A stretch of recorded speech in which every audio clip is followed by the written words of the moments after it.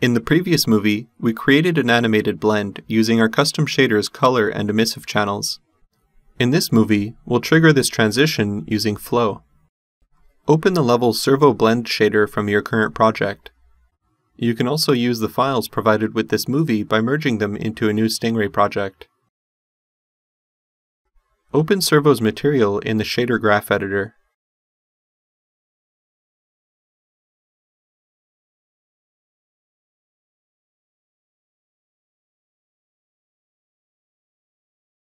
You'll recall that in the previous movies, we used material variable nodes to expose different material properties.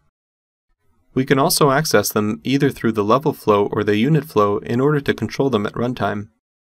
For this tutorial, we'll focus on the blend ratio property which controls the transition effect. The name property of each material variable node corresponds to the variable name exposed in flow.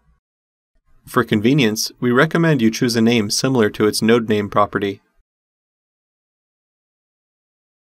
Save your shader graph and then open Servo's unit flow. To control a material's properties, we first need to access the unit's mesh it's assigned to. Create a Get Unit Mesh node.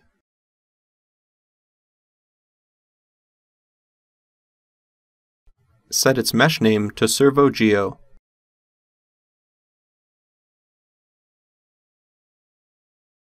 Next, use a getMeshMaterial node to retrieve the specified material. This node requires a material resource. Choose your material from the content browser. Now, create a setMaterial variable node.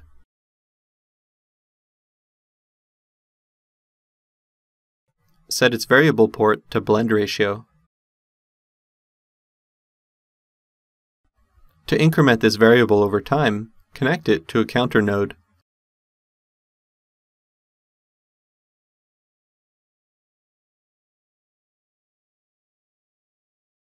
Set the increment to 0.01 to create a smooth transition effect.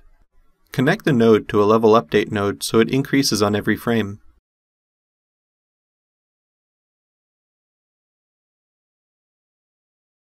Save your unit flow and test your level.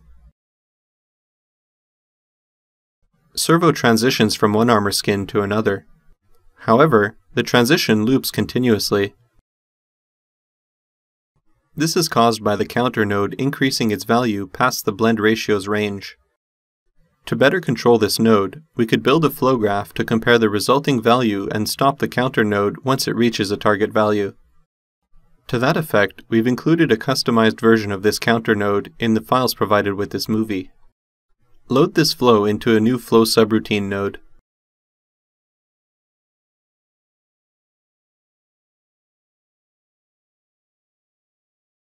Connect this node to match the original counter node.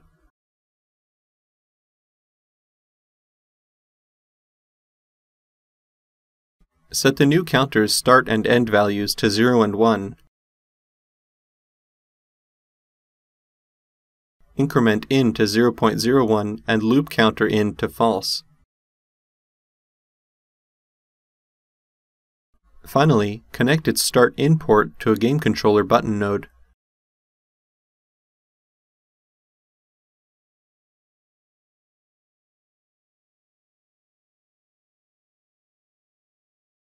Save the unit flow and test your level. You can now trigger Servo's transition effect manually. However, notice that the effect is only in one direction, meaning it resets to the original color map on every trigger. Instead, we want to create a seamless back and forth armor transition by switching the two color maps on every other transition. For this, we'll need to update our custom blend shader once more. Return to the shader graph editor. You'll recall that we're using a black and white sprite sheet texture to blend our two color maps. By that logic, we need to swap these color maps by inverting the blend itself. Create an invert 1 minus node. Connect it to the base color group's blend map node. Next, create an if node.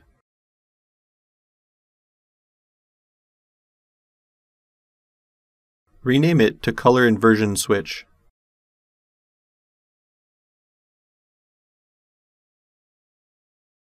Connect the invert 1- and blend map nodes to the true and false ports respectively. Connect the blend map inversion switch node to the color map blend node's weight port, replacing its current connection. Next, duplicate the blend ratio node. Rename its node name, display name, and name properties to invert blend.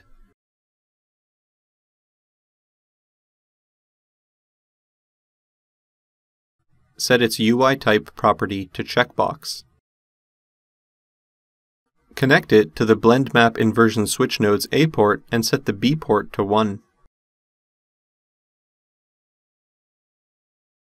You can now use the Invert Blend checkbox to switch the color maps in the blend effect.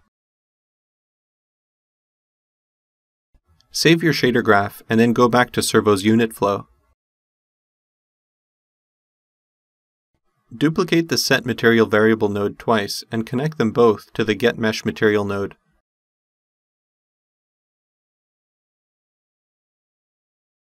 Set both nodes to use the Invert Blend material variable.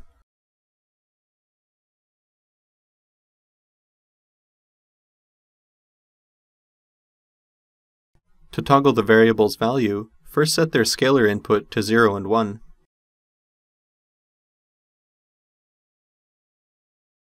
Then, create a toggle node and connect it to each node.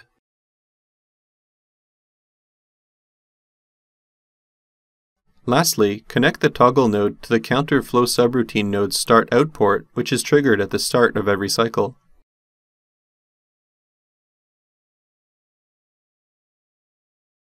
Save the unit flow and test your level.